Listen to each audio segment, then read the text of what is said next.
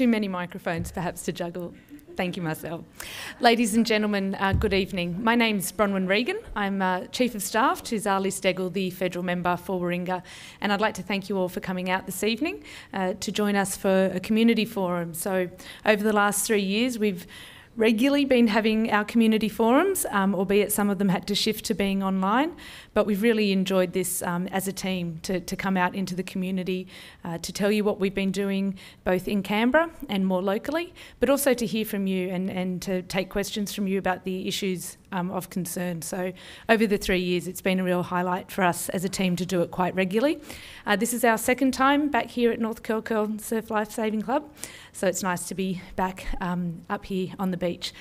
Apologies for the weather. I know it's beyond our control, but um, thank you for persevering and coming out this evening. So I'd like to um, acknowledge country, and in acknowledging country and elders past, present, and emergency, emerging, we do uh, acknowledge that the sorrow that has been brought um, through that dispossession, and uh, Zali will speak a little bit more to that shortly, but um, it is important for us as a team to acknowledge that past possession. So like to thank you all again for, for coming and uh, joining Zali this evening. We hope you've got some questions for her. She's going to provide a bit of an update, um, but we have made sure that we've left lots of times for uh, questions and answers. Um, we do believe that meeting with your community and being available to your community is a really important part of being a member of parliament or even running for parliament. So being available is, is something that is always very important to Zali and certainly at the office we have an open door policy an open lift policy actually. Anyone that's been to our office in Manly, you know there's a clunky old lift that used to be locked at the bottom. Um, it hasn't been locked for three years, so um, we're quite proud of having an open door policy there. But anyway, a bit of housekeeping. Um, for those of you joining us on Facebook this evening, thank you very much. It's great to uh, have you all online. Um, please feel free to contribute with some questions later on in the, uh, the proceedings. Um, we'll make sure that uh, your questions get some answers as well. So thank you very much for joining us. You're uh, probably a bit drier and a bit warmer than we are uh, here tonight, but uh, good on you. And to those of you in the room, again, just um, any questions that you might have during Zali's presentation, um, feel free just to hold on to them until the end of the evening. But it is now my pleasure, um, absolute pleasure, to uh, hand over to the member for Warringah, Zali.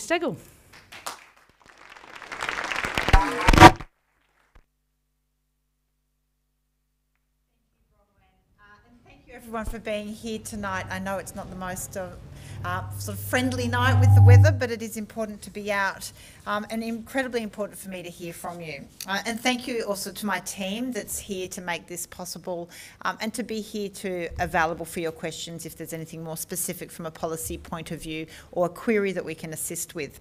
Um, I would also like to pay my respects to Indigenous elders past, present and emerging and acknowledge their custodianship for the land on which we meet incredibly, uh, the world's longest living culture at 65,000 years, uh, with an incredible record of taking care of this land, the sea, and the air, and some much that we can learn from. Uh, and it is sad to acknowledge that in this last parliament we have not progressed the Uluru Statement of the Heart and uh, constitutional recognition. Uh, I should say I have met with Minister Wyatt about it and encouraged him and urged him to bring that before the Parliament. Uh, I think the internal uh, dis, I guess uh, there was disunity on the issue and opposition to it, meant that he did not feel that he could progress it despite the assurances at the last election. Uh, and they, the, the government pursued a, a, a model of uh, a sort of a, a, voice to Parliament as opposed to, or a voice to government, uh, and it simply is not the model that's recommended. So I strongly support the Uluru Statement from the Heart and will press in this next Parliament for a motion to be moved so that uh, a referendum can be um, can be called, uh, and that recognition to happen. But so, if I could start with um, a little bit of an update in terms of the last three years in Parliament, it has been incredibly busy. It's incredible to think that we're now coming around again for this uh, 2022 election. I promise to be a leader on climate change and to bring forward solutions that bring people to the table end the divisive politics. So it was incredibly important for me to bring forward the climate change bill. It had the support of over 110 organisations. It had the support, and for the first time, really, we brought together business, industry, unions, conservation groups, environmental groups, and civic society united towards this call for a framework and for good legislation. The government still opposed to that level of commitment and that level of accountability by locking in good processes around our emissions reduction, um, but it's very much uh, on my agenda and policy that I'll talk a little bit more about, about the focus for this coming uh, Parliament. Other areas where we were incredibly successful in protecting our local environment was actually around PEP 11, so the Petroleum Exploration Licence uh, in an area from Newcastle to Manly. And it was with the amazing support of the community that we were able uh, to pressure the government into uh, uh putting an end to that project uh, and dismissing the application for the project to be extended and expanded. And, and that is really a, such a, uh, an achievement of our local community in really supporting the actions that I was able to take in Canberra by putting forward legislation. Uh, I moved amendments to the NAIF bill, which is uh, Northern uh, Australia Infrastructure Funding, uh, the export EFIC, which is uh, export finance funding, uh, the EPBC, the Environmental Protection, Biodiversity and Conservation Bill, uh, which you may all have participated in the Samuel Review, um, with an overwhelming amount of recommendations in relation to our poor legislation and poor record of biodiversity and conservation, huge loss of flora and fauna um, in Australia. We have a, a, terrible record, actually, of loss of native animal and native species. Um, but yet the government really opposed uh, and failed to bring forward the full recommendations of the Samuels Review. Tried, uh, again, we're only a couple of votes short in Parliament for being able to pass those amendments. Uh, important locally was also around supporting the Sydney Harbour Federation Trust. Uh, you may, may have participated in the review uh, in relation to the function of the trust and the trust and the management of the lands. And here in Warringah, incredibly important, we have quite a substantial amount of trust uh, properties uh, when it comes to North Head, uh, 10 Terminal, and, and, a number of others. They are all uh, facing, they desperately need rehabilitation and conservation, and there still hasn't been substantial enough funding put towards that. Uh, was, it was an honour to start Parliamentary Friends of Climate Action with uh, colleagues on the crossbench, with Helen Haines, the member for Indi, and Rebekha Sharkie.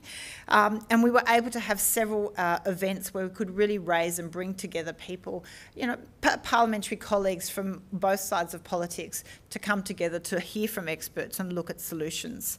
Um, also instigated a review of the UNGI program um, with the Auditor General. Now, integrity has played a big part of the discussion discussion around politics so far.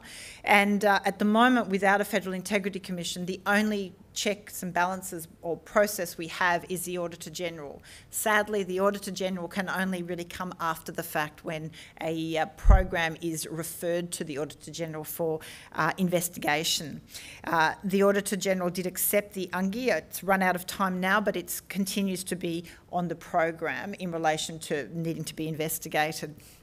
On integrity, well, I've seconded the Integrity Commission bill and remain incredibly committed to that. Um, and also introduced Truth in Political Advertising bill. It was quite an eye-opener for me at the last election to discover there is no rules, no laws around truth in political advertising. What especially in circumstances where in the normal world, the real world outside of politics and the bubble of politics, um, businesses, commerce, production of services, everyone is bound by rules and laws. It is crazy that the political uh, arena is held to a much different standard. Uh, yes and it really is uh, wrong. I think it, and it erodes trust in democracy and government when you don't have uh, a level of truth in that kind of advertising. From an inclusion point of view, it has been a really exciting time.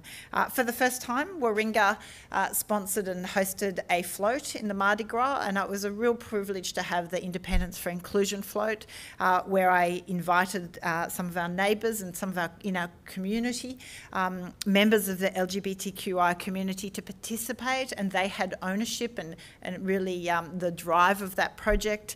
Um, and it was a really uh, positive uh, experience. It was incredibly joyful. Uh, and it was great that I was able to host uh, Dr. Sophie Scamps, uh, Kylie Tinks, and um, uh, and Allegra Spender as our sort of neighbouring um, electorates. Um, I think from a, from a caring point of view, though, we were able to help over 300 people home or with travel exemptions. It was an incredibly challenging time the last three years, especially the last two with COVID and lockdowns. And Julie, in fact, is here, who was an amazing person in the office who took calls and assisted so many people in our community that needed assistance. And I get stopped regularly on the street and at bus stops, even just this morning, uh, by, a pers- by a constituent saying thank you for the assistance they received uh, in doing that. And sometimes in politics, you know, it's, it's hard to really quantify outcomes or really feel how much you can make a difference. But there was an opportunity uh, when Kabul fell to the Taliban and uh, the call came to help some Afghan refugees. Uh, the, with the members in my team at the office, but in particular Luke, who is in the back here, worked around the clock to help as many as we could that reached out for help. And we're able to help over 100 Afghan refugees reach Australia. And that was quite incredible because obviously sometimes uh, it can be overwhelming, the plight of so many people in need of help. But when you know you can actually, in real terms, change um, some people's lives, it was uh, incredibly fulfilling. So I think that really is a reflection on Warringah to have been able to achieve that. So thank you for, for the community uh, to have, you know, enabled that to happen. We have had uh, some 19,500 community cases. Uh, we've had just a huge amount of emails to the office and correspondence. I feel like the number one role as a member of parliament is actually your, as your representatives, and we are here to serve the community. And so that has been absolutely our focus. Uh, and with that, it has been receiving so many emails and queries and, and requests for help. Um, and that's why we call them community cases in terms of how can we help and what we need to do. And I've had an incredibly hardworking team, mainly locals. We stretch the boundaries of Warringah a little bit occasionally, but mostly, and, and a team of volunteers who have dedicated for the last three years so many hours weekly to help serve the community. And that's an incredible, um, I think, testimony to how um, invested the community is to, I think, an independent Warringah and a different type of representation. The last two years have been quite um, marked in Parliament in terms of culture and integrity. Uh, I don't think anyone can get through 2021 without thinking of Grace Tame being Australian of the Year, uh, the allegations from Brittany Higgins of the culture in Parliament. Um, that led to me moving the amendment to the Sex Discrimination Act, which ultimately pressured the government in implementing some of the recommendations of the Respect at Work report. There are still some recommendations to go, and I'm committed to making sure the rest is implemented. It's incredibly important that we do that. Uh, from, an from the economy point of view, it was incredibly challenging, and that's where I have to thank all chambers of commerce that we have locally for their incredible commitment to our local businesses. We had a number of forums and a number of engagements where I heard directly from businesses with state members. We both, uh, state members, uh, obviously advocating to state government, me advocating to federal government, really pushed the case of how was assistance working was it or not? Was it tailored enough? Did it need more flexibility? And pushing for specific uh, outcomes. Um, it was incredibly important to make sure business was heard through an incredibly challenging time. Now, a question about being independent is always, well, what can you deliver, and can we really bring about, you know, real outcomes? And people tend to think of that in dollar terms. Uh, one of my first focus in uh, establishing the office was to have a grants uh, officer, and that means someone who can assist and work with our local organisations to make sure they can apply for grants, understand what grants may be available, and not just federal grants. We're talking about local, state, federal, private grants as well. Um, but also ensure that there was due process, an arm's length process. So I established a grants committee that was that, that um, we um, uh, had to disclose any conflicts of interest or any relationships and ensure that we had a really truly fair process, democratic process around grants, uh, recipients and applications in the, the electorate. And it shows the outcome, the results show that that is the model that works.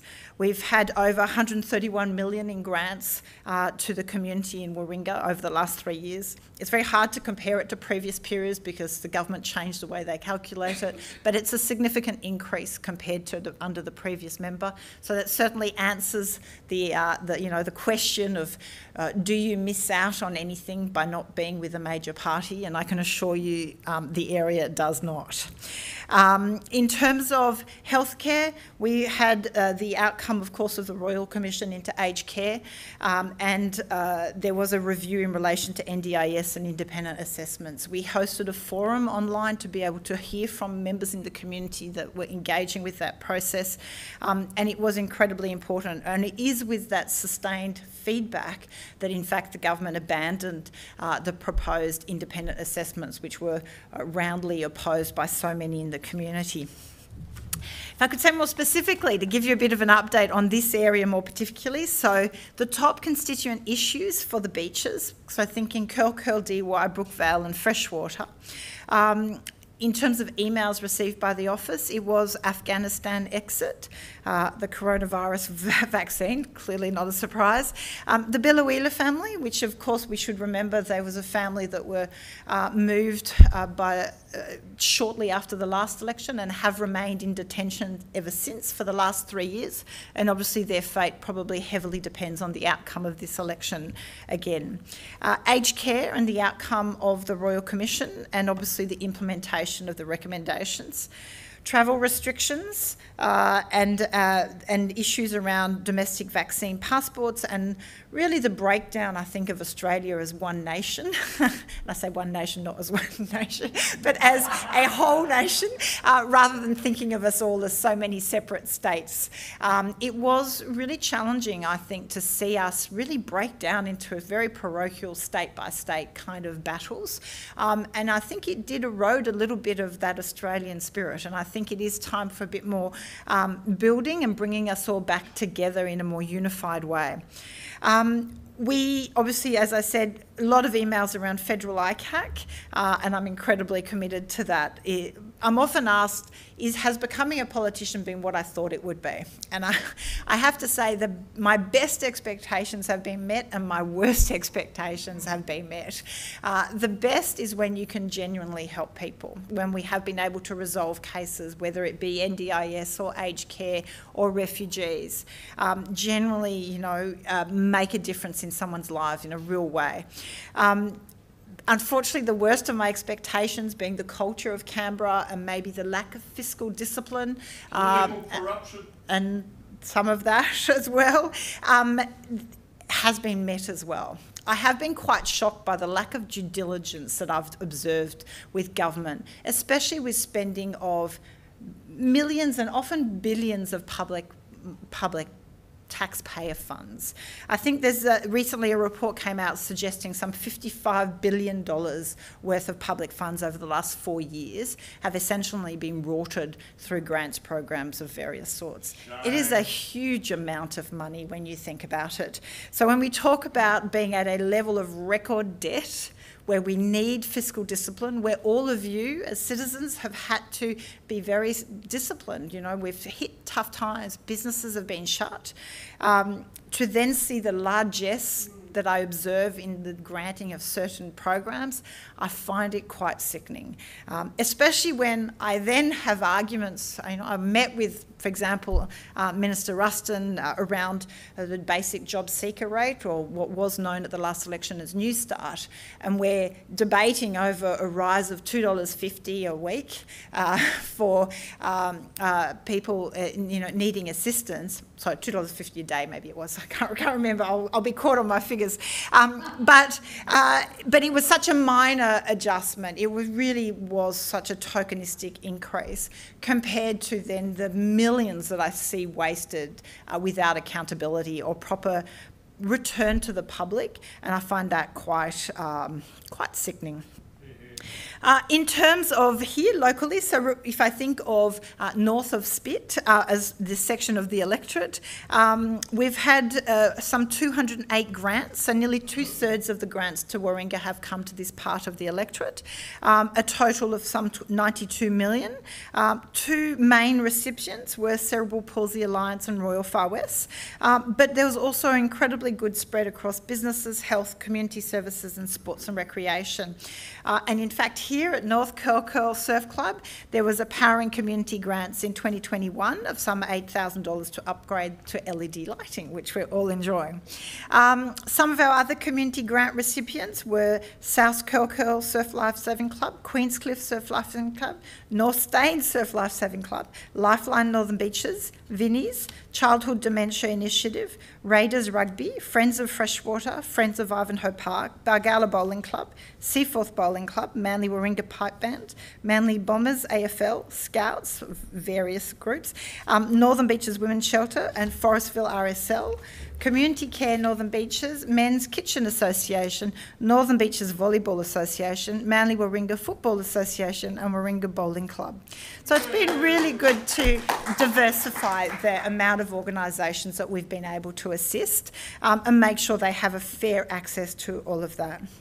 Uh, I've been incredibly proud of our area in terms of our compliance. We've had several lockdowns. We've had incredibly tough times, but also our um, our vaccination race has, has been incredibly well. Um, Shame.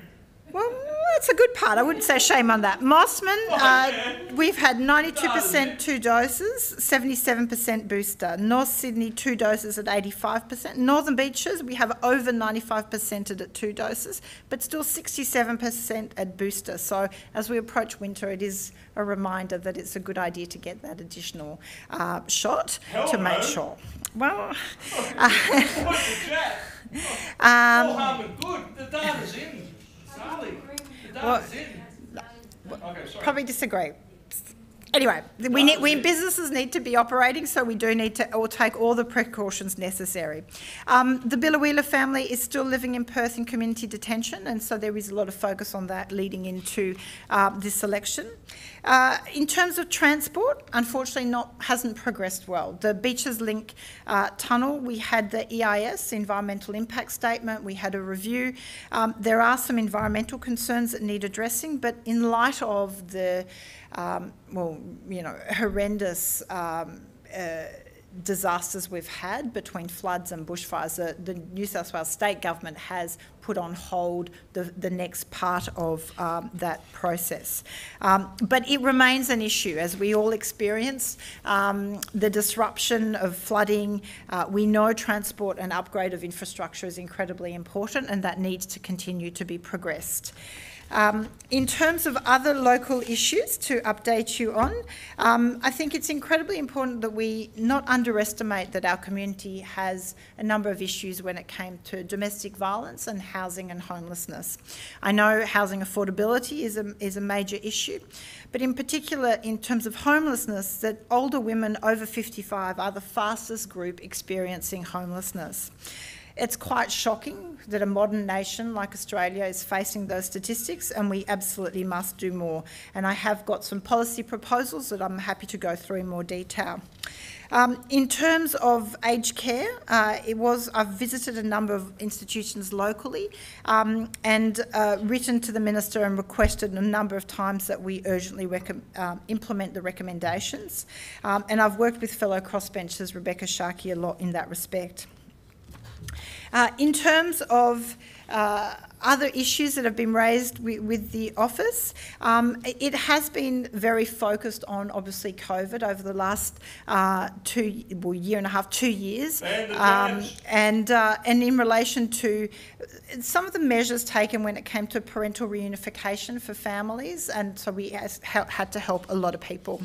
Uh, an issue that always uh, Warringah is a very caring community, um, and live export, animal exports, whilst we're not a farming community here, there is a high level of care. Uh, and so I seconded Andrew Wilkie's bill in relation to stopping live exports, but that is still uh, something the government resists. So, what can we do for the next three years? There's, um, there is so much more. Um, we need to pass the Federal Integrity Commission. We need to pass the climate change bill. We need to pass the, the um, stopping lying in political advertising. We need to raise the bar from an integrity point of view and a long-term policy point of view. So I've got some details here for anyone who would like to read more from a policy point of view around the providing more climate leadership um, and having a clear plan of what we need to achieve. We know global warming is impacting our lives now. So a lot of discussion at this election on cost of living. Let's be really clear. Global warming directly impacts cost of living. Your food prices, your fuel prices, your insurance prices, all of these are directly impacted by events.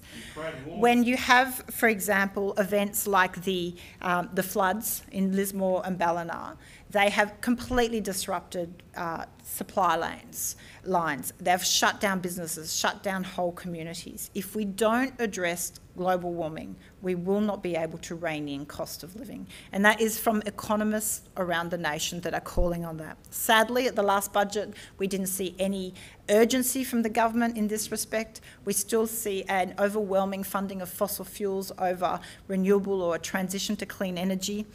We actually calculated it's some $22,000 per minute being provided to fossil fuels uh, by way of subsidies, which is quite a shocking balance, really, in terms of where we go.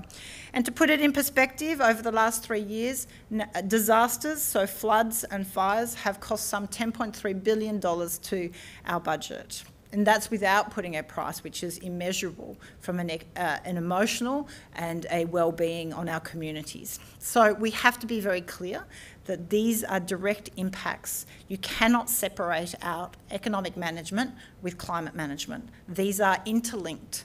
You cannot have one without the other. Um, and we are being warned. The IPCC report that came out only a couple of weeks ago, which the government and the opposition have yet failed to properly respond to, make clear there is a very dire warning. We are going to see increasing frequency and increasing severity of events that will compound with one another to a point where governments of all level, be local government, state government or federal government, will not be able to cope, will not be able to respond, and communities will be left exposed. We've seen that with the floods in Lismore, we saw that with bushfires. We simply can't allow that to get any worse. The good news, we have all the technology, we have the solutions, we absolutely can do it. I was very careful in put, formulating that my climate plan for this next parliament. The five steps to net zero, which are to deliver a 60% emissions reduction by 2030. And very clear in researching, and Harry here, my uh, advisor, when it comes to that climate policy, and Luke, both have worked incredibly hard in getting that advice from experts to make sure this is an achievable plan. This is a plan achievable on our current uh, technology, current know-how. And so it's incredibly important that we don't get caught in the negative language that the major parties will try and uh, do over the next uh, few weeks as we lead into this election. This is the most vital election for global warming. We know in this, if we do not act in this next decade, it will be incredibly hard. We will reach tipping points that we won't be able to reverse. And the frustrating part is there's so much to gain right? It's not just about averting global warming. It is about embracing economic opportunity. There are trillions of dollars for up for investment in this transition. 70% of our trading partners are committed to net zero and are accelerating their transition. They are using their COVID recovery packages to transition to net zero and clean technologies. Sadly, Australia is not. There is still a refusal, a delay, a handbrake. It's something that can be changed and it needs to be changed. It's something the Business Council is calling for, industry groups, everyone, state governments, but there is still an inability at federal government the coalition side to acknowledge this. I've met with many members of the coalition to discuss the climate change bill, and whilst there is an acknowledgement from most behind the scenes of the need to act on climate, there is a that they are paralysed within the party room from doing anything, and that's why I think it is so important. Uh, for Warringah to remain independent, and, from, and that's why I'm so committed to remaining uh, the representative, representing your voice and your concerns. Yeah. So I think that's my, my wrap up of the last three years. Incredibly busy. I'm incredibly thankful for the support and the input I've received from the community. Um, my focus has always been to pull back the curtain on Canberra to ensure you participate in every way possible. It is so important from uh, participating by making submissions, by being involved in inquiries, by letting you know what legislation is to be debated, getting feedback on legislation, um, but also taking a bit of Warringah to Canberra and pointing out to government and to the major parties that we can do politics differently. We can do politics and representative democracy by having the community involved. So I hope um, that you have felt involved and thank you for attending tonight. This is part of it. I need to hear from the community community. So I look forward to your questions, but thank you so much for coming tonight.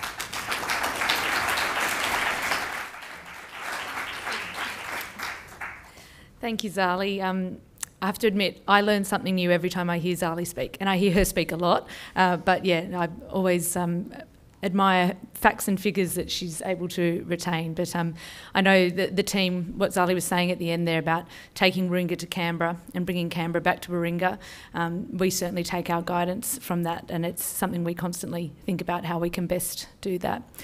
So we're going to move into questions and answers. Well, hopefully some answers. I'm sure there'll be some answers.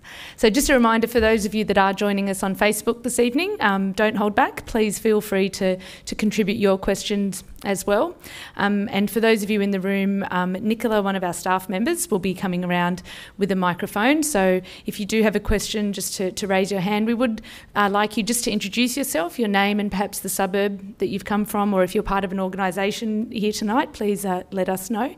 Um, and one of the highlights of these community forums is that they've always remained respectful and uh, we've always given everyone time to speak and time to listen and uh, you know not talking over the top of other people or or um, shouting people down. So we would uh, appreciate for that to continue tonight. Um, it's always been a, a, really lovely forum. Can't say the same thing for parliament mind you um, but uh, it's always been a highlight of these forums. So with that in mind um, we might move into the question session. So is there anyone in the room that would like to start with a question? Yes, ma'am. Uh, Nicola, do you have the microphone? Yep. Just nice and close to your mouth. Sorry, nice and close to your chest. Um, first of all, um, have I got? Yes. yes. Oh, Lovely. sorry. Um, first of all, thank you, Zali, for all the work you're doing. Um, my, na- my, name, my name is Victoria Adams, and I live in Seaforth. Um, I, I, understand that and, and, appreciate that you're doing a lot in regards to integrity, and I understand that there's so much that you can put out there. One of the things I've been following and a, and a, a genuine growing concern is about what I feel is a almost a sense of a rise of autocracy, and I sort of look back at the Trump and I'm very fearful. One of the things I have been following, and it's not been getting much air, and I think it's so serious and so undermining of democracy, is this issue with the um, the, um, the, the National Cabinet and the FOR laws, the one that uh, Rex Patrick is taking up. And my understanding, I was listening to a lecture on the Integrity Commission and um, by um, Patrick Wheely, and, and my understanding is that this is the first time under Australian Constitution where an individual has placed themselves over the law, and that Rex Patrick is taking this matter up again. And just combined with, I've been reading a lot of the press Oh, and I know that Rudd and Murdoch have been bringing up the Murdoch press, but I'm quite shocked at the coverage of the election to date, at the bias of it. And I understand the ABC has been cut by 750 million. And it's just a, a, a growing fear, and I'd like to see this issue of the FOR laws and the National Cabinet have a little bit more airtime because I think that the general public is quite unaware of, of the, the threat to democracy here. Thank you very much. Yeah, uh, thank you. That it, it is really important, especially when we think of the last two years with the impact of COVID and the rules on our lifestyle, on our way of life. Uh, it was quite shocking to me to think that Australians were a restricted from leaving the country, but restrained from coming back to their own country as well. And these that was challenged legally, um, and to find that we don't actually have a right, a legal right to return to Australia was quite shocking to me, I must say. Um, some of the things that were instituted by the government to respond to COVID were, I think, well, um, uh, had an autocratic aspect to it. There was no consultation. It was not put to a vote in Parliament, for example, to shut down the border. Uh, that was something that was done.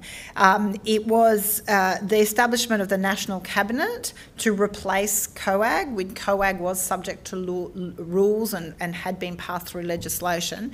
National Cabinet was just formed, uh, is not subject to um, freedom of information requests, and does, there is no uh, real clarity of report essentially. Um, so I find that concerning, I agree, uh, because I think the, uh, the hallmark of democracy is actually accountability, is transparency. We should be able to access the reasons for decisions. And I, th I think we really saw that as a breakdown as well when I, you know, I jokingly say we became a number of different countries. Uh, but it, it's quite sad to see that because we had uh, advice from health officers and medical officers that varied from state to state, yet we didn't have access to the information behind it. So there was no way of ever assessing whether the political decision was based on the same or different evidence? Was there a different interpretation occurring? And, that, and that's why I strongly believe we need a National Centre for Disease Control. We have no actual National Centre for Disease Control to establish a proper plan. In terms of autocratic, a slide towards autocracy, I am concerned by that. There's been a number of legislation and, and decisions by the government that are reducing trans, um, accountability. So there is this opposition to a Federal Integrity Commission with proper powers. Uh, Importantly, the government opposes there being any kind of public accountability. So a minister could be found guilty, but they wouldn't, the public simply wouldn't know about it under the government model. Um, and that there is no whistleblower provision. So the only way an investigation could ever occur is by the minister requesting it to occur in the first place, which is incredibly impossible. You know, you have to be a bit cynical when you really think about who needs to be investigated. You only have to look at the full, well, what's happening in Ukraine at the moment with Russia to know the, the, the, incredibly dangerous power of disinformation, misinformation, of propaganda. And that is the slide. When you lose an independent media, you do fall into propaganda. Um, and that's why I'm incredibly committed to maintain proper funding of our independent broadcasters, but also to make sure that the board is properly independent and their operations are properly independent to ensure impartiality. Uh, I have an issue just in this election. For example, the vote compass of the ABC. Uh, I'm in the process of, in fact, raising a complaint. It fails to provide for independence as an option, especially in a seat that is currently independent, if you fill out the vote compass. It is, has an assumption that it must be a political party in terms of your comparison. Now, that is an inbuilt bias that is not consistent with the charter of the ABC and an independent media. So that's something I'll be raising. But it is incredibly important and it's actually, I know a lot has happened since 2019, but it was only a few days after the election in 2019 that we saw journalists being raided uh, by the AFP and cases instituted, now instigated against those journalists. And that was an incredible breach, I think, an overreach from government into the press uh, and a very concerning one. And so we look at events overseas and we think that is far away and these, that kind of influence can't happen here. But if we don't stand up for a free press, for an independent press, if we don't question where information is coming from, that is a very real risk. Uh, and at a, at, in an era where information is so readily available, we have social media, and we don't currently have laws that have really kept uh, kept pace with the, the speed of information and how this happens. We still don't have laws around deep fakes. Now, deep fakes is when someone can go and cut and paste uh, uh, audio recordings or visual recordings of a person, chop it all together to make a whole new message and then pass it off as being them having said it in the first place. This is something I was seeking to catch with Stop the Laws, uh, Stop, Stop the Lies bill to stop lying in political, political advertising because it's something we saw during the, the, the last presidential election in the US where deep fakes occur, where there is that kind of level of uh, interference in our election process. Election. So, to make sure that doesn't happen, a free media, incredibly important. Accountability. I have discussed with Rex Patrick the freedom of information aspect and the private members bill um, that he has uh, put forward. He has been successful in the courts in actually winning against the government around that the government and the cabinet need to provide copies of the of the documents he has sought under freedom of information. The ruling by the court was that no, it is not caught by confidentiality of uh, the PMO, so the Prime Minister's office, essentially. Um, but the Prime Minister is resisting, uh, and that is in direct contempt of the court orders. And that is concerning. I would have to say my observation of the Prime Minister is not someone who is looking for scrutiny. He is not someone who uh, welcomes accountability uh, and not someone who um, you know, I, I, I, have concerns about his willingness to be transparent and accountable to the Australian public in relation to a number of issues. So oh, yeah. I think I think your fears are well founded, but the one way you combat that is all of you. You have to raise your issues. You have to raise your voice. I think communities like Warringah that are engaged with democracy. You are engaged with your vote, with the issues. You hold me to account as your representative. We need to see more communities doing that all over Australia. Woo.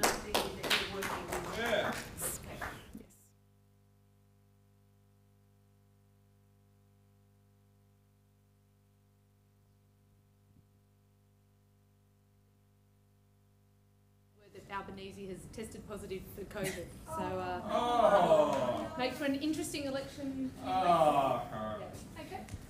Uh, Jonathan Morse from Freshwater. Uh, first of all, I'd like to sincerely appreciate the work you've done around integrity, environment, uh, and inclusion. Uh, I was very grateful for your press release you put out in regards to your uh, to Ms. Deves and her comments, even though they weren't they've been taken down, but then we're standing by them, so I'm not sure whether we're meant to agree with them or not but sincerely appreciate what you did on that. There is a very high likelihood that we're probably going to end up with a hung parliament, and very keen to get your perspective on what you and your team, uh, I would assume, already starting to think about, have conversations about, uh, in reference to when um, people start knocking on your door and asking where your loyalties are going to lie and how truly independent you will remain. Very important question. It's a question on a lot of people's mind. Um, incredibly important for me to remain independent. If I wanted to be a member of a party, I would be a member of a party. And I think it's really clear for the community that we're looking to do this differently. But I acknowledge, as a member of the crossbench, we need to work with um, government and opposition. And I feel like I have done that for the last three years really well, in that I've been able to work with both sides on everything. So, in the event of no party having a majority, um, I would seek to uh, discuss and meet with leaders of both sides and uh, uh, to uh, and put forward the issues that Warringah would be wanting me to. Um, I view the climate change bill the Federal Integrity Commission as being absolute essentials moving forward for good governance and, and, and really representing Warringah. So for me, it is clear that my number one focus is, is to be true to the policy issues for which I feel I would be re-elected on, and that is the primary focus. It is for me important to look at stability of government, so obviously the outcome of the election is important, so looking at how voters have responded to the proposals and who is in a better position to form a stable government. But what I've also said, and I stand by, I will not do any deal. I do not agree with secret deals. Um, I believe for good democracy we need transparency, and so I will be, uh, whilst there will be confidence to, uh, to a side to form government, there will not be a blanket supply deal. So I simply won't support blanket funding uh, to be watered the way we've seen over the last three years or further funding of fossil fuels. So for me, that's incredibly important. And I understand other members of the crossbench feel the same way, that it is not a question of just uh, losing your independence by providing a supply, a blanket supply. And, and that way, we force better government. I know a lot of people uh, have been, I think, conditioned to think that there is only one way of doing this, that you can only have blue team, red team. Um, but in every other facet of our lives, we embrace competition, we embrace choice, because it's with choice that you raise the standards, so you actually get better outcomes for the community as a whole. And I firmly believe that it is actually with uh, more a more collaborative approach to government that we will get better outcomes. It's incredibly important to remember we currently have a lot of secret deals in how government operates. So the coalition is a private deal between the Liberals and the Nationals. and I would have to say my dealings with the Nationals are concerning. So when I've met with, uh, with their various leaders to discuss issues that matter to Warringah, um, there is no uh, transparency, there is no uh, real uh, engagement with those issues. And so I would want to know what the terms of the deals are in order to form government. Um, and the same way as it, it is really important for me to ensure we have fiscal discipline in terms of where, where uh, who are for forming government as well. So I want to make sure in this next period we absolutely need to rein in debt. We need to ensure spending is done on merit, that it is done where for benefit, for public good.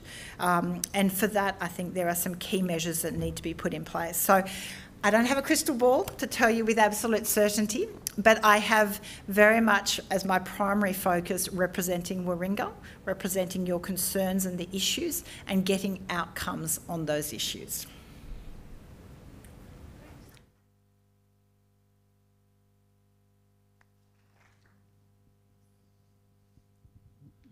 Yeah, g'day, Zali. Um, Brian Concannon from Manly.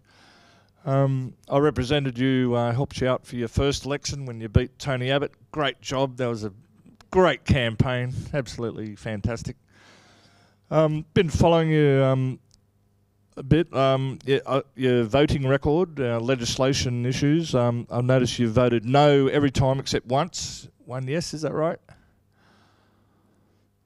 I think that's quite great, but Okay, or I commend you if that's the case, or yeah, if, if you're like you're not not a government lucky, that's great. I would say my ba- uh, well for anyone. I mean, I believe in transparency, so I know that I probably won't satisfy or please everyone on every vote, but I think it's really important for everyone to understand how or why I have voted. So my process is clear on the website um, uh, in terms of how I vote, and then the breakdown of votes. I don't know how many realise two thirds, uh, nearly. It is, my, my maths are missing me tonight. Um, but at, twice as many votes in Parliament have been to gag debate over actual debate on legislation, which is quite extraordinary when you think about it. That means it's the games happening between uh, the opposition and government. It is when the government is shutting down debate, so amendments trying to be moved on legislation or raising issues of substance, where the government uses numbers to shut down debate. Now, this is the House of Representatives, this is the House of Debate. So my voting record is there. On substantive legislation, it is about 51% with government um, in terms of legislation. You should know about 80% of legislation passes through on the voices, which means with the support of pretty much the whole parliament because it is sensible legislation. So we're really, when you talk about uh, voting uh, records or where you're at, I have overwhelmingly um, voted with government on economic management. I've voted against government on environmental protection and integrity, I think is a probably fair summation. Can I also ask, um, my, my real reason of concern to be here tonight is um, because of the uh, vaccines and the lockdowns and the way the government acted, which I believe was totally out of order, considering um, they, they, didn't have enough evidence it was um, a death-defying pandemic. But recent evidence has just come out. Um, Pfizer's had to release um, evidence. They tried to get 75 years, but um, a judge ordered eight months. Uh, every month they got to release a new tranche of information. Uh, the first tranche said something about um, the Pfizer vaccine possibly causes 1,291 serious adverse reactions. That's right, because I that informa- that is misinformation. So I, I just, no, I have, no, no, no I have to stop you there. actually released that, uh, Zali.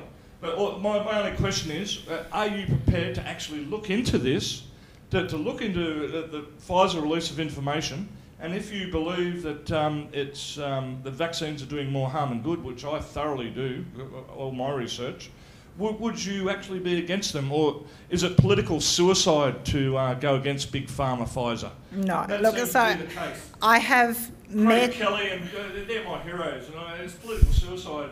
You, would be poli- committing political suicide to um, tell the truth about vaccines, wouldn't you? Well, I would have to disagree with you there. Respectfully, you're entitled to your view, but uh, for me, the premise is to be based on expert advice and actually seek the information. Oh, and most of blood on her hands. How can you believe a word she said? If you don't want to be respectful, I'll have to ask I'm you to sorry, leave. yeah. Okay. So you're I'm entitled to your view. But the reality will be, um, if I've met with a number of experts, and the evidence was incontrovertible in terms Oh, of the risk, Right. and you only have to know. there. I will have to ask you to leave. I'm really sorry. Okay. Um, it is incredibly important. Families have suffered incredible heartbreak. It has been an incredibly challenging few years. I've been ama- so proud of the Warringah community and the broader community for how um, engaged and willing to uh, compromise our own personal liberty for the sake of others. So many of the measures around COVID have been about keeping your loved ones safe, what you can do for others. And it has meant we have had an incredible result from a health perspective compared to other nations. And that has to be acknowledged, and that is something to be proud of. I acknowledge it has come at a huge price. And if anyone has had the opportunity to view the Modern Healthcare Forum I had, where we discussed very much the successes of our response, but also the challenges. And there were difficulties with how uh, restrictions were imposed, the fact that there wasn't enough flexibility, the fact that some of the rules were very um, uh, partial for certain aspects. For example, business prioritised over family. And this was incredibly distressing. And businesses locally paid an incredible price for lockdowns and lost periods of trading. To give you an idea, our local businesses, like in Manly, where tourism, uh, retail and tourism is, is such an important part, um, 60% of yearly revenue is done during the three weeks of the summer trading. And there were two Christmases in a row with lockdowns or pseudo lockdowns. Sorry. So you have to appreciate the importance what we can all do as a community to contribute to make sure that we actually ensure businesses can operate but remain safe. I also met with so many frontline health professionals that absolutely, and many of you probably have those in your families, worked incredibly hard, incredibly long hours to ensure that our families and our communities could be healthy and safe. I think through COVID, we also appreciated how lucky we are here on the beaches with our environment, with the space and the facilities we have. Um, and I think it really brought a whole new uh, appreciation for what a strong community we are in helping one another. I had so many programs come and talk to me about thank you projects and handing things over to, um, you know, to thank frontline workers, especially uh, cleaners and supermarket staff and bus drivers and teachers and nurses and doctors. Um, it really, really highlighted that our health as a society is ultimately the backbone of a society. If we don't ha- take care of our health, if we don't take care of the vulnerable in our society, it all does come to a standstill. So I would respectfully disagree with your views. I think we have come through, but we have to also learn from it. I do support that, for Just example, look at the data, Zali, that's all I say. the That's all data, say, your data is not Come on. accepted. Come on, enough. No, no, no. Stop. Stop. Okay, Driving us mad. well, let's go on. Stop. So I do support a royal commission into our medical, our health response to COVID because I think it's incredibly important that we learn from it. And we aren't through it yet. We still have um, very variants coming through. And we need to make sure our systems are resilient and equipped to cope. We have pushed so many of the frontline health workers to the absolute limit. We need to make sure we have a more resilient, sustainable system to be able to ensure with these kind of uh, uh, spikes in, in, in demand and need. Because unfortunately, pandemics and health issues also come with global warming, um, and we are already warned and on notice of increased demand and needs when it comes to that. So I think it's important that we acknowledge what was done well, what may not be done well, may, maybe wasn't, and how we can do it better. And that's why I very much support a review uh, to make sure that we, we learn and we improve the system. The government's stuffed up on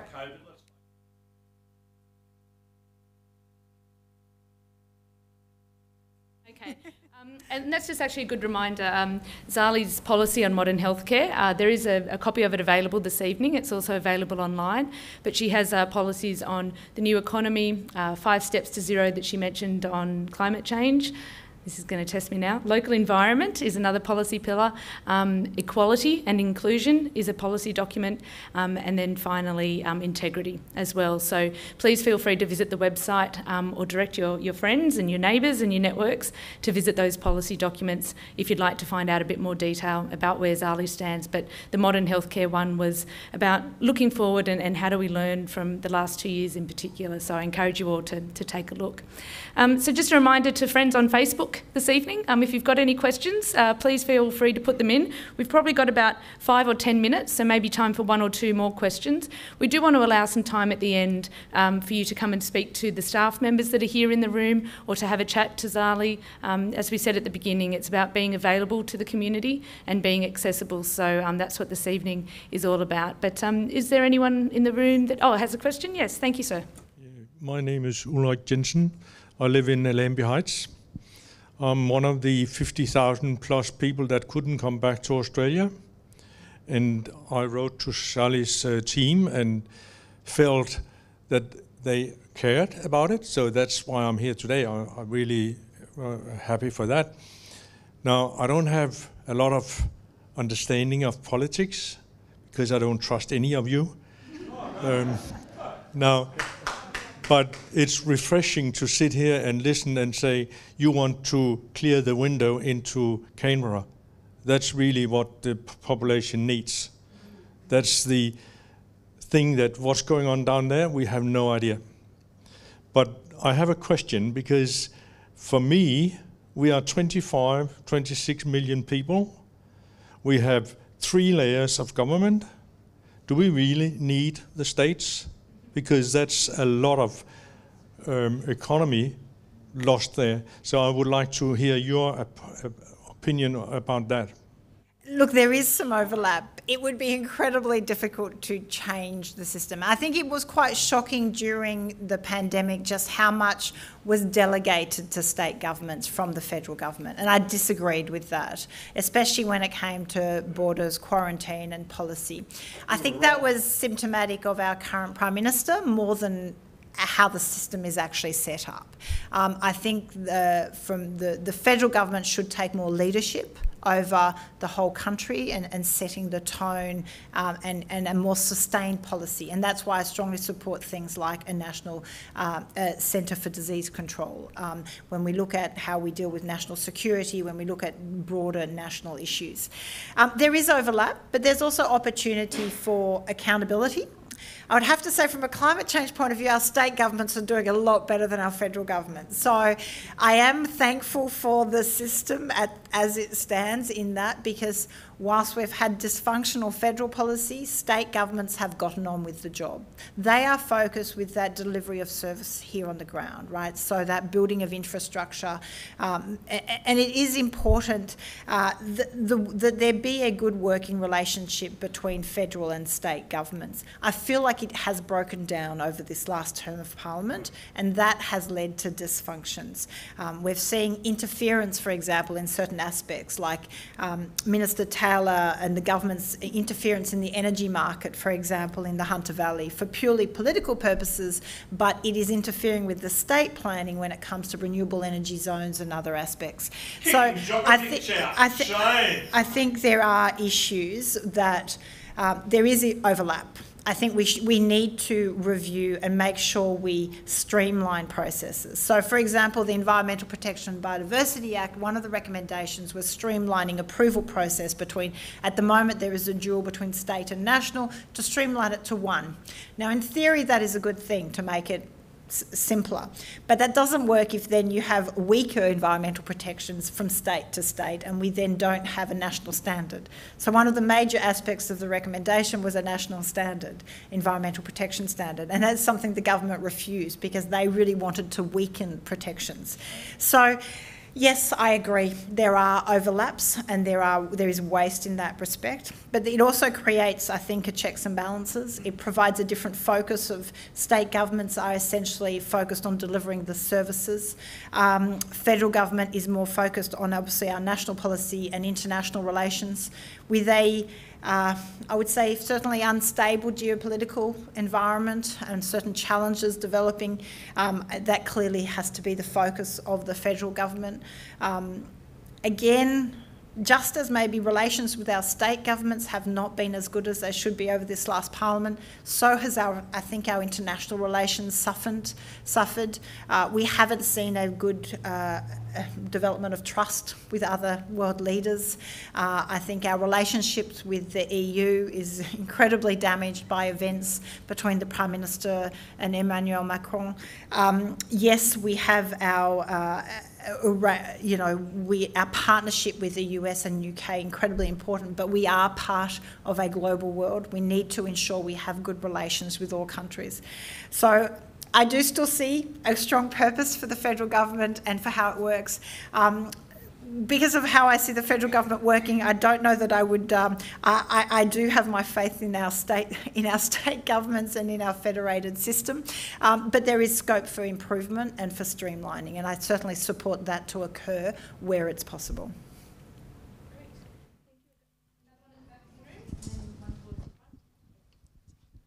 Uh, my name's David Lowe. I'm from Manly. Uh, just a question about foreign policy. I suppose this stems from the current Solomon Islands and China issue. Are you able to give us a little bit of an insight as to how much uh, influence sensible independents like yourself and Andrew Wilkie have in the discussion in Parliament about these issues? Well, I think if it is a minority government, much greater influence, which can be also a good thing because it can be a, a more um, a moderating um, influence. What I'm concerned about is we know we've had some geopolitical conflict and instability developing over the last few years. But instead of I would say, moderated and collaborative approach or ways to maintain communication, ways to maintain um, uh, better relations. I think it has been exacerbated with inflammatory dialogue and language. Uh, it has been politicised in the, in the context of this election, which I think is incredibly dangerous.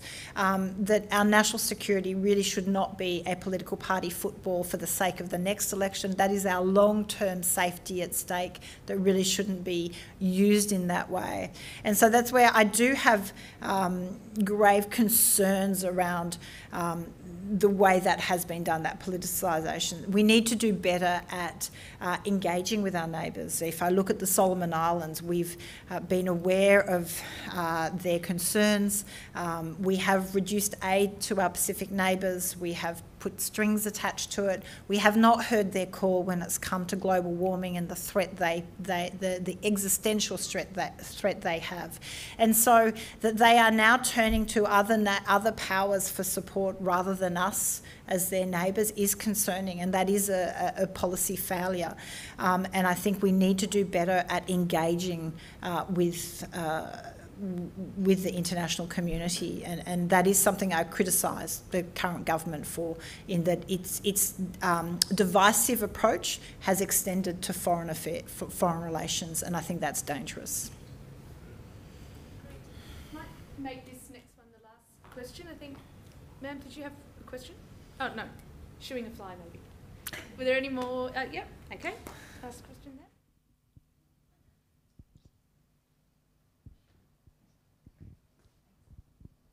Hi, Anita Gleeson from Curl Curl.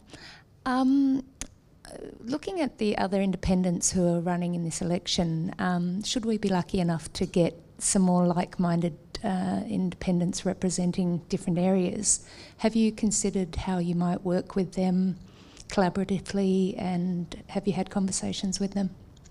I have met a number of them. I've done the odd talks and events. I was today at a fuel security event, in fact, where Kylea Tink and Allegra Spender were also speaking at. Um, I very much welcome the more independents running. And in fact, Warringah inspired many, many other seats to regain their democracy, their vote, make your vote count.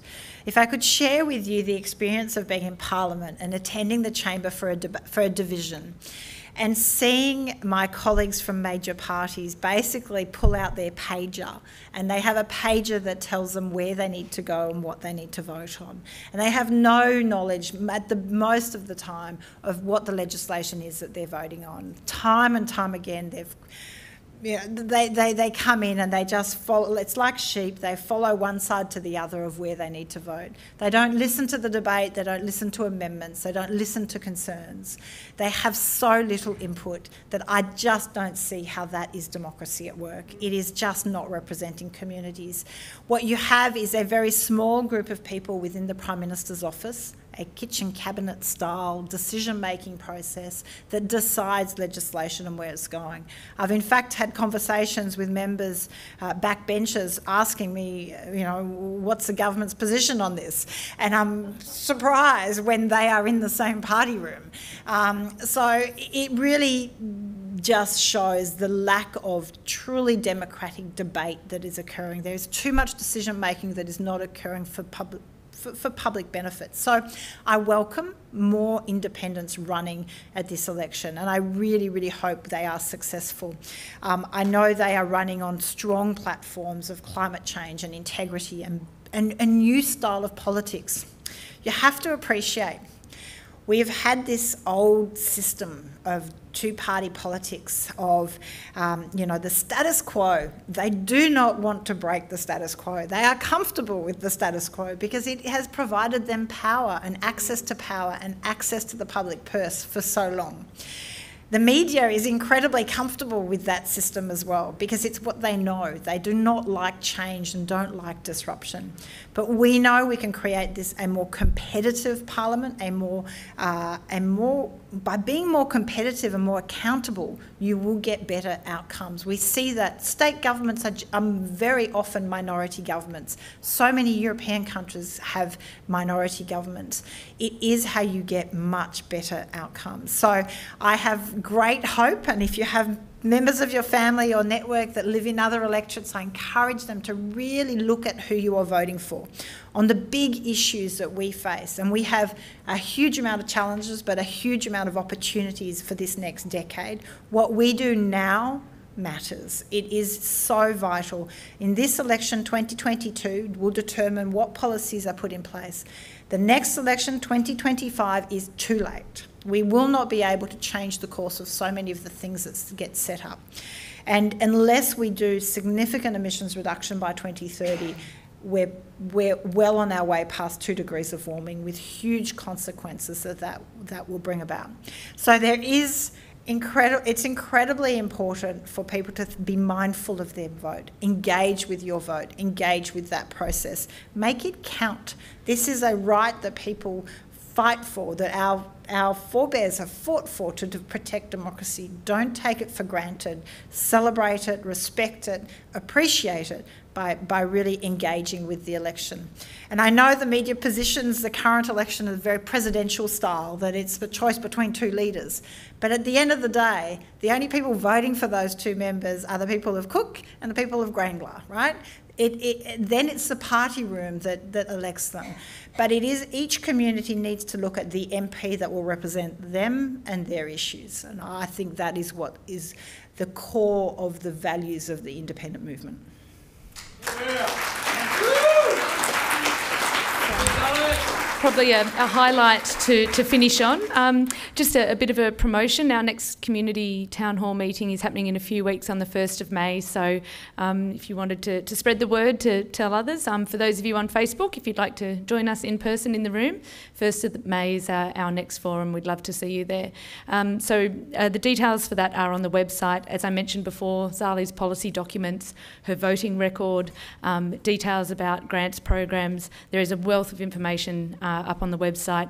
Um, if you get people asking, but what has she ever done for us? There is a page that says achievements, and um, you know, Zali and, and we as a team are really proud of those achievements. So it's a long list, I have to say. So um, I encourage you to get on it and have a look at that. But um, the website does provide a, a, wealth of information. You can sign up for Zali's newsletter there. So we uh, have an electronic newsletter that goes out every two weeks to keep people updated with what's happening in Warringah and also um, what legislation is being passed down in Canberra. As Zali said, um, pulling back the curtain on, on Canberra is uh, a really important motivator for all of us. So I encourage you to take a look at the website. Um, if you have people in your life that are between 18 and 24, I think the age bracket is, um, there's a group called Gen Zali on social media, and I encourage you to encourage them to take a look at Gen Zali and uh, some of the events that they're planning. There's one happening in Brookvale um, next Tuesday evening, I think it is. Someone will correct me if I'm wrong on that. But um, I'm not between 18 and 24, so I'm, I'm not part of Gen Zali. But yeah, no, I encourage you to have a look. And one final thing that Zali did touch on um, the Stop the Lies legislation that she's introduced in Parliament about truth in political advertising. We're going to see over the next three or four weeks just how important that need is for that if you get something in your letterbox or if you drive past a banner that you just don't think is right, um, we've actually set up an email address where you can report that to. Um, unfortunately, the government won't do it, AEC won't do it. Um, so we've set up a, a, mechanism where you can let us know if you see something dodgy, because chances are, if it looks dodgy, it probably is dodgy. And some of you might be aware from the recent council campaign um, some of the dirty tricks that, that went on there. So um, the email address, and I'm going to make sure I get it right, is reportmisinfo at zalisteggall.com.au. And again, the details and the background for that email address are on um, Zali's website. So yeah, so so so what happens with those emails um, is that they'll get assessed, and the ABC are actually running um, a research project themselves, collecting data and examples of misinformation, disinformation, um, and other material that's out there. So again, thanks to our national broadcaster, that uh, yeah. Um, the national broadcaster is uh, keeping an eye on things for us, so um, that avenue is there. Um, finally, we will wrap up, but um, there are staff members in the room this evening, and if you perhaps have a, an issue or a concern that you didn't want to raise publicly, by all means, come and have a chat to us. So um, I'm the only one not wearing a name tag, but my name's Bronwyn. Feel free to come and have a chat to me. Um, but we also have staff around. We've got um, Luke in the back corner in the blue shirt, and Harry at the front, who are Zali's policy advisors. Um, then we've got Nicola at the back, who runs the business operations for our electorate office. We've got Julie Giannassini, um, who I know you mentioned with your immigration cases. She can assist with citizenship, immigration. Um, and then we've also got Diana and Matt from the electorate office who are here to help as well. And Rachel, our grants officer. Um, she's the one you might all make a beeline for. She's got the money, so go and see her. Actually, we're in caretaker mode, so she can't help you at the moment. But um, no, once the grants program starts up, in all seriousness, if you're part of a, a group or an organisation and you'd like to know more about grants opportunities, please have a chat to Rachel. Um, but I also just want to thank as well Kathy Stretch, who's in the audience, who's been helping us um, organise tonight's forums and some other events. So thank you, Kathy. And uh, Hadley, who's a staff member who, um, given school holidays, we're a family friendly workplace, and uh, she can't be here tonight, but she helped organise. And uh, finally, a shout out to Sean, who's on Facebook. Um, he's home with COVID, uh, but he's our staff member who's been monitoring Facebook. And I know some of you turned up tonight just to meet Sean because he's helped you so much. So I'm sure we can arrange that in the future. But yeah, please feel free. Don't feel you need to rush off. Um, come and have a chat. Uh, but otherwise, feel free to spread the word, um, sign up for the newsletter, and uh, let's get Zali back in Canberra. Okay, thank you.